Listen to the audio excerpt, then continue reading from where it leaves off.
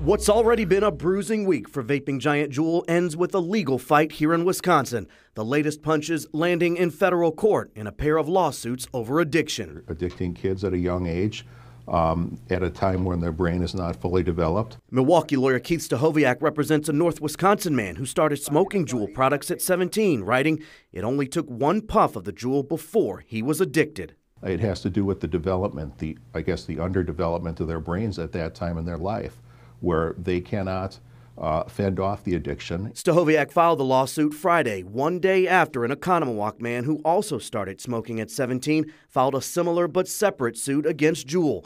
Both cases claim the company knowingly hid the health effects of its products in an aggressive marketing campaign exploiting the power of social media.